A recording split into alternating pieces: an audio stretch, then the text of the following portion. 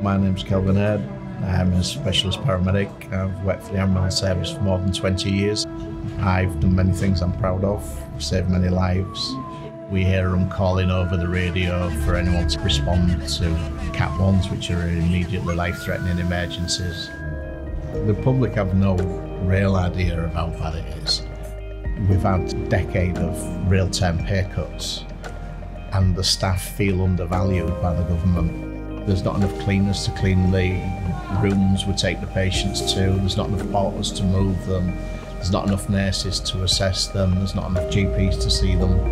Now, when we get to hospital, there's no one to take the patient. Instead of handing the patient over in 15 minutes, it may take an hour, two hours, three hours. All the time we're there looking after that patient, we're not responding to emergencies.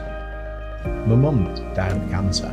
The people who came for her were the ambulance service, and the care they gave her was amazing. And I was in utter admiration for them. That's why I do it. Knowing that when the call out, Cat 1, can anyone go?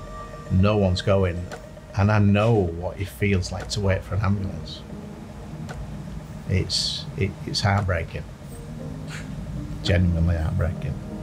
Everyone we don't get to is someone we didn't help in time.